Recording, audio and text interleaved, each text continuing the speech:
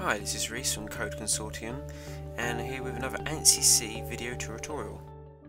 Welcome to episode 3, part 4. In this episode I'm going to teach you how to nest if statements and what that means is that we can take if statements and put one inside another and we can do that as many times as we like so that we can have multiple decisions.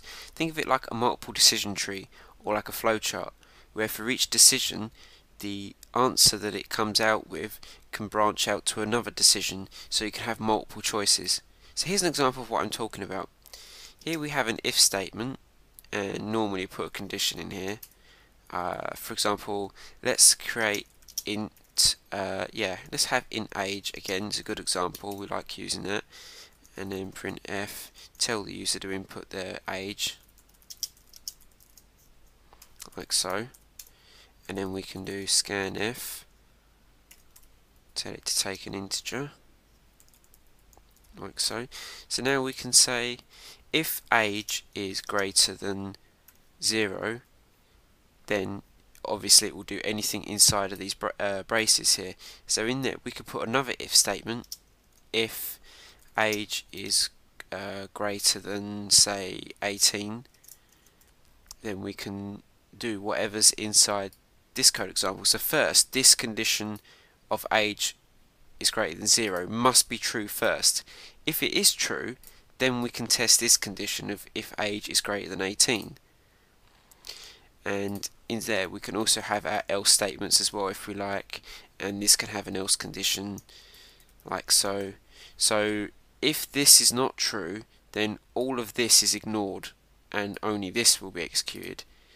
But if this is true, then once this is executed, then if this is true, this part will be executed, otherwise this part will be executed. So let's show you what I mean by that. Let's put in here, you are above 0 and above 18, like that. And in here we can put printf, you are above 0 but not above 18 then in here we can put you are not above zero like that. And that will work so if we just save that and then go back to our compiler gcc minus o main and main.c that's compiled successfully. So if we run that if I put 0, then 0 is not above 0, obviously, so you're not above 0. If I put 18, or let's just put 17 for example, then you're above 0, but you're not above 18. If I put 19, you're above 0 and above 18. So as you can see, we can now have a tr uh, tree of decisions that we can follow through, and we can do lots of interesting things with this. So what we could do is if we wanted we could put another if statement in here. Or what would be really cool is if we put a switch statement like this. So we can put a switch statement in here. So we could put case um, I don't know minus 1 print f you are below 0 for example and then break. And then case minus 3 uh, print f. You are minus 3 etc so you can do a lot more interesting things with that.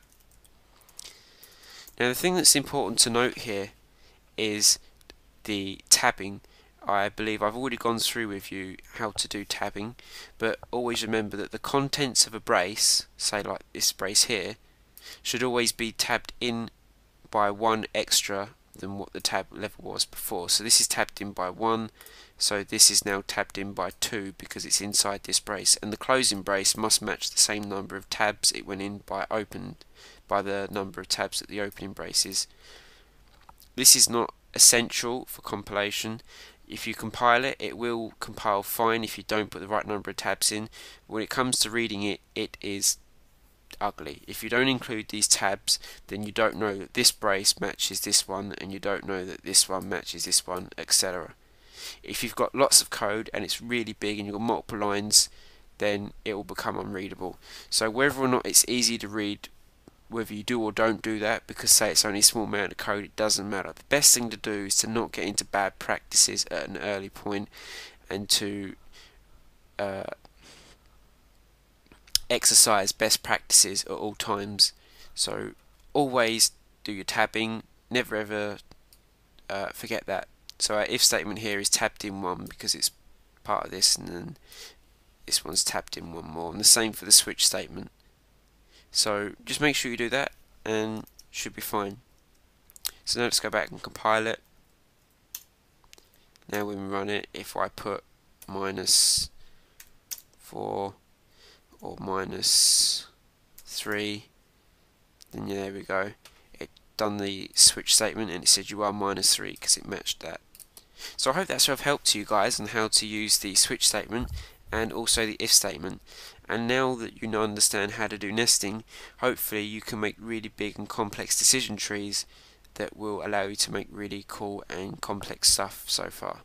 There's lots more to teach and coming up in the next uh, video on arithmetic and also I want to show you some other cool stuff, loops and arrays. Thanks for watching. Be sure to check regularly for the next video in the series of ANSI C tutorials. For further discussion on programming, visit the forum on codeconsortium.com where you can post your questions and advice. Don't forget to comment, rate and subscribe. See you next time.